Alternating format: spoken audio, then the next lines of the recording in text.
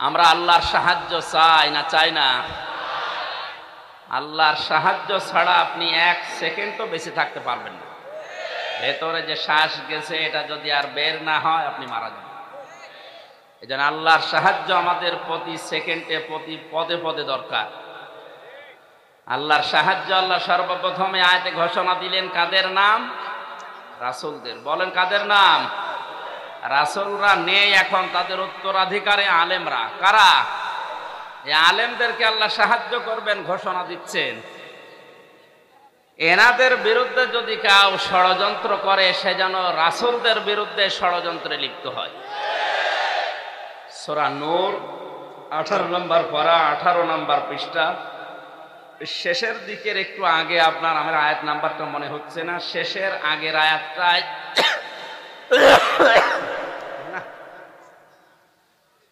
এই জন্য আসলে এই অনুষ্ঠানগুলো এখনই শুরু করতে চাচ্ছিলাম না। দাদা আরও পনেরো বিশ দিন একটু বিশ্রামে থাকার দরকার ছিল। কারণ ওই ভেতরে এই তিন বছর এই খাবার খেয়ে ভেতরের কাল কবজা সব নড়বড়ে হয়ে গেছে। কারণ এটা জয়েন্ট লাগতে কিছুদিন দেরি দেরি হবে। চেক আপ করিয়েছে শরীর, কিন্তু ডাক্তার তো বলছে আপনি ঘুমান, আট, নয় ঘণ্টা করে ঘুমান।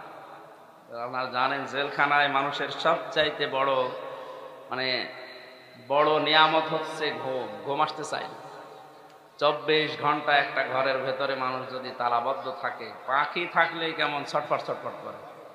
আর আমরা তো মুক্ত জীবনের মানুষ, সারা পৃথিবী ঘুরে বেড়ানো মানুষ।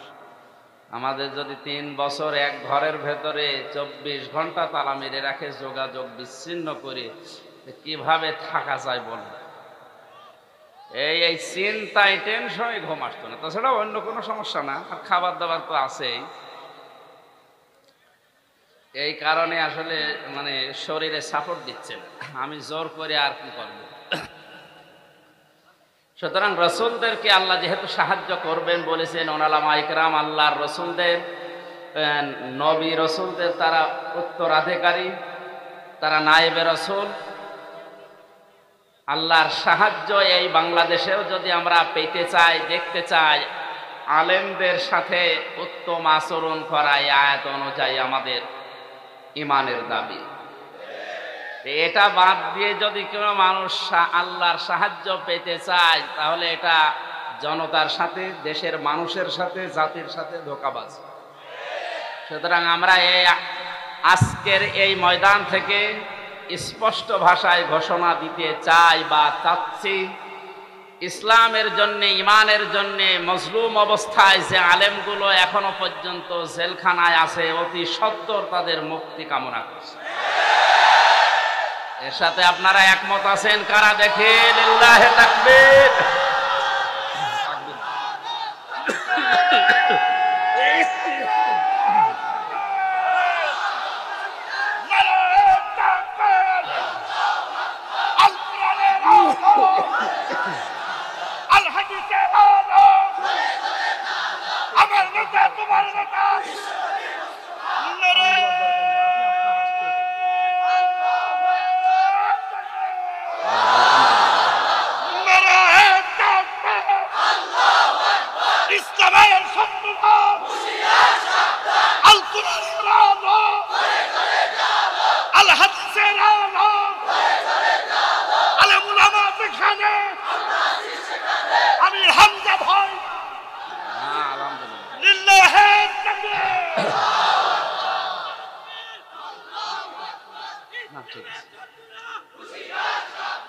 আলহামদুলিল্লাহ ভাই। আমার দাদা জেলখানায় থাকা অবস্থায় বিদায় নিয়েছে, মারা গেছে। উনি বেঁচে থাকতে একটা গল্প বলতো, শিক্ষণীয়। আমি কয়েক সেকেন্ডের ভেতরে বলছি, একটু একটু চুপ করে উনি বলছিল একবার যে দোকানদার, তার কর্মচারী আছে একজন, তার নাম ইসলাম। দোকানদারের একটা মেয়ে ছিল, নাম হচ্ছে শান্তি।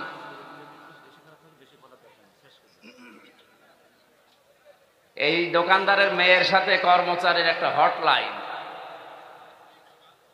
দোকানদার একদিন টের পেয়ে আচ্ছা পিটানো পিটিয়েছে যে, তুমি একটা কর্মচারী আর আমি আমি মালিক তোমার, আমার মেয়ের সাথে লাইন। এমন পিটানো পিটিয়েছে, ও সিদ্ধান্ত নিয়েছে, মালিক, তোমার এই শান্তির জন্য আমি মার খেলাম। দেখি শান্তি কয়দিন তোমার ঘরে থাকে। এমনিতে তো লাইন ছিল, আরও লাইন বাড়িয়েছে। শেষ পর্যন্ত শান্তিকে বলছে, কোথায়? এই তো আমি আসি আসো স্টেশনে, আজকে পালানো লাগবে। পালিয়েছে। সকালবেলা দোকানদার চিল্লাচ্ছে, আমার শান্তি গেল কোথায়? জনগণ বলছে, শান্তি গেল কোথায় মানে? হ্যাঁ আমার মেয়ের শান্তিকে আমি খুঁজে পাচ্ছি না। লোকজন বলে, আপনি শান্তি খোঁজার আগে বলেন তো, আপনার দোকানে যে ইসলাম নামে কর্মচারী ছিল, ও কোথায়? ও তো আসে না। ওই তোমার শান্তি নিয়ে পালিয়েছে। বলে, ওরে তো পিটিয়েছিলাম ওই শান্তির কারণে। এলাকার লোকজন তাকে ধিক্কার দিচ্ছে আর জানাচ্ছে যে, ইসলামকে পিটিয়ে বিদায় করে দিয়ে শান্তি তালাশ করো। ইসলাম আছে যেখানে শান্তি গেছে সাহায্য যদি আমরা পেতে চাই, এই ঠিক আছে ভাইয়া। কথা বোঝার চেষ্টা করি। বাস্তবে এই দেশে যদি এখন আমরা আল্লাহর সাহায্য ছাড়া তো চলা সম্ভব না। আপনারা জানেন এই দেশটা চালাতে, আমি একটা ছোট্ট উদাহরণ বলি, একশো টাকা যদি লাগে এক বছর চলতে এই বাংলাদেশ, আঠারো কোটি মানুষ আমরা, একটা বছর চলতে মনে করেন একশত টাকা লাগে। কত? পঁচাত্তর টাকা আসে বাইরের দেশগুলো থেকে। বিশেষ করে আমেরিকা সহ সাতটা, আমরা সেভেন সিস্টার জানি, এই সাতটা দেশ থেকে এগুলো আসে। বাকি পঁচিশ টাকা বিভিন্ন জায়গায় এবং আমরা যা কামাই করি, এই দেশে উৎপন্ন করি, সেটা থেকে। এখন যদি এই পঁচিশ টাকা দিয়ে চলতে চাই সম্ভব না। পঁচাত্তর টাকা তো লাগবে। সবচাইতে বড় বিষয় হচ্ছে আল্লাহর সাহায্য।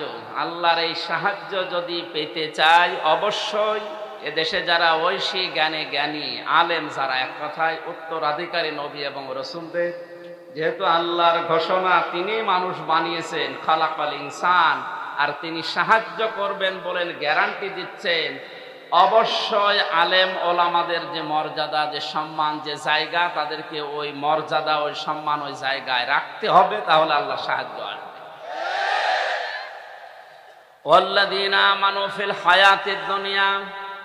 রাসুলদের নামের পরে আল্লাহ ইমানদারদের নাম দিয়েছেন। আয়ের দ্বারা বোঝা যায় আল্লাহ রাসুলদের পরে, নবী রসুলের পরে সব চাইতে বেশি ভালোবাসেন তার ইমানদার বান্দা বান্দিদেরকে আজকে আসার সময় হাফেজ আবু সাইদ একটা আয়াত বলছিল কোরআনে কারিমের সূরা বাকারা থেকে, আল্লাহু আলিয়্যুল্লাযীনা আমানু ইখরিজুহুম মিনাস যুলুমাতি ইলান অল্লাদিনা আমানু, এই শব্দটার বাস্তবতা আমি বোঝাচ্ছি। আমাদের আসলে রসুলদের পরে আল্লাহ ইমানদারদের নাম দিলেন যে, পার্থিব জীবনে তাদের আমি সাহায্য করব। এই ইমানদারদের সাথে আল্লাহর আচরণ কি? আল্লাহর বাস্তবতায় আল্লাহর সম্পর্ক কি? আল্লাহ পাক বলেন, যারা ইমান আনবে, আমি আল্লাহ নিজেই তাদের বন্ধু হয়ে যাব। আমি আল্লাহ যদি কারও বন্ধু হয়ে যায় আমি আল্লাহর দায়িত্ব জানো এখরে জোহম মা নোর। তাদেরকে আমি অন্ধকারের পথ থেকে আলোর দিকে আমি আল্লাহ নিজে নিয়ে আসি।